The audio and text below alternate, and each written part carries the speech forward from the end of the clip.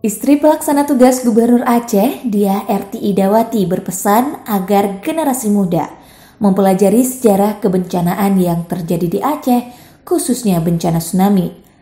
Hal itu menurutnya penting sebagai pengetahuan dan demi meningkatkan kewaspadaan akan kemungkinan terjadinya bencana serupa. Tsunami memang fenomena yang mungkin berulang ratusan tahunan. Yang pasti, kita harus menjadikan tsunami tahun 2004 lalu sebagai pelajaran. Kata dia saat membuka Aceh Art Community 2020 di PLTD Apung Sabtu 8 Februari 2020.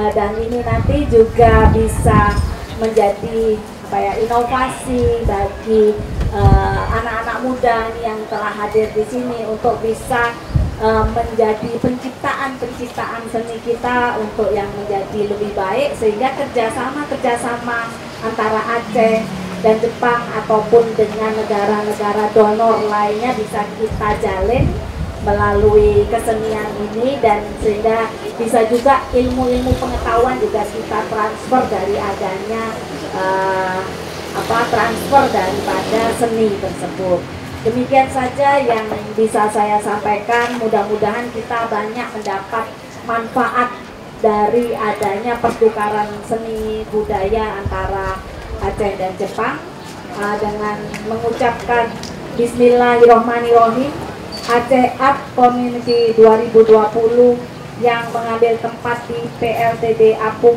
ini dengan resmi saya nyatakan dibuka.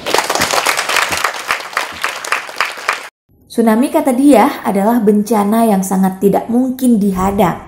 Namun, dengan pengetahuan dan kewaspadaan, efek dari musibah itu dapat ditekan seminimal mungkin.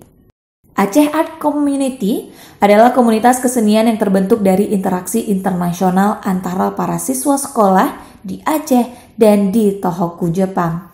Mereka melakukan pengajaran khususnya pada mitigasi bencana dengan melibatkan para pelajar selain juga untuk mempererat hubungan antara Aceh dan Jepang. Dua daerah ini diketahui pernah ditimpa musibah tsunami. Dia menyebutkan secara geografis ada ketertarikan antara Aceh dan Jepang, di mana kedua daerah ini sama-sama rentan terhadap gempa bumi jika magnitudonya besar dan bersumber dari laut, bisa mengakibatkan tsunami. Karena itu, Pengetahuan yang cukup terhadap tsunami sangat diperlukan, juga penting untuk melawan lupa.